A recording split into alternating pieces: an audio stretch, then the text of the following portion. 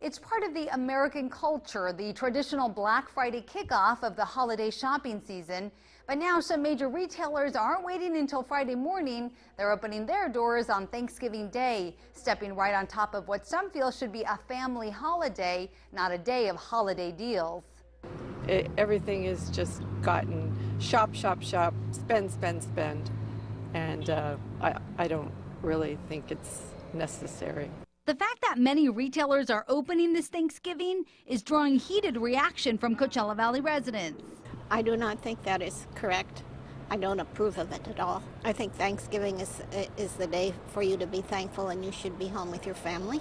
Uh, it's kind of a day of rest uh, with family, and uh, we shop 365 days a year almost, so it's okay if we spend one or two days. It's not like we have no oxygen those days. We can we can live through it.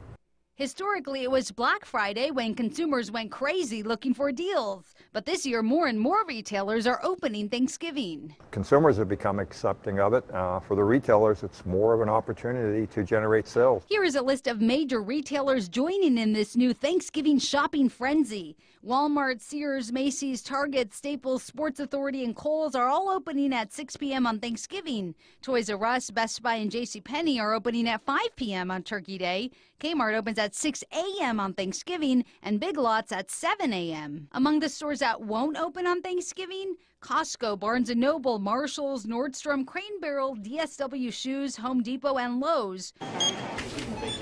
But whenever the stores open, the National Retail Federation says six in 10 of us will go shopping either Thanksgiving Day or over that weekend. On average, for most retailers, the holiday season, November to December, represents anywhere from 10 to 30 percent of their total sales for the year. The Federation also says the average person will spend about $800 this holiday season. If I'm a consumer electronics store, I don't want to take the risk of missing that consumer who's coming in to buy a big flat screen television or a computer, and if I don't get them that day, they're gone for the whole holiday season and maybe for the rest of the year. For some, the deals are worth shopping during the busy holiday weekend. Well, with the economy, I um, save lots of money and I usually pack it up and stick it in the rafters and I pull it out the next December.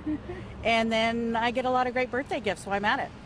So if you decide it's worth hitting the stores on Thanksgiving, just remember not all the stores will be open. You can check online to see when your favorite stores open, and those opening on Thanksgiving Day are probably already stuffing your mailbox with ads explaining why it's worth your while to get a jump on your shopping. Now back to you.